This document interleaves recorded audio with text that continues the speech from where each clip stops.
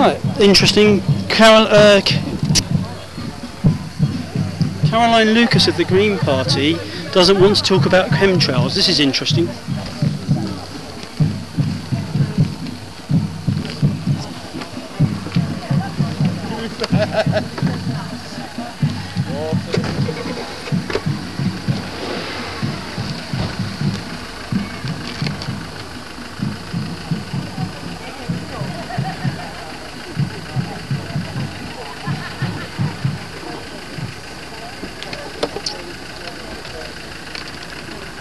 Caroline, I just want to ask you about She can't. about chem, chemtrails. She doesn't want to talk to you now. Yeah, I know. Do you not have any views on chemtrails?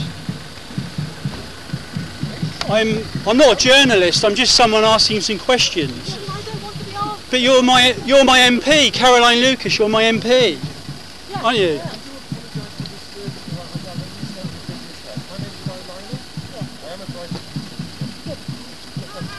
Oh, oh, I'm so sorry. It's just I've got a Bible that's in all of this. and.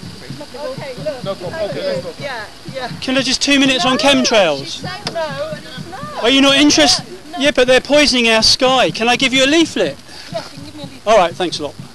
It's a very important issue. I'm not a, a journalist or nothing, you know. So uh, there's a two. Can I have a leaflet? Oh, that's on chemtrails. Oh. Thank you. Right. Well, there you go. The, MP, the Green MP from Brighton doesn't want to talk about chemtrails. How interesting. Well, there you have an exclusive there interview. Bob Truther. Make of it what you will.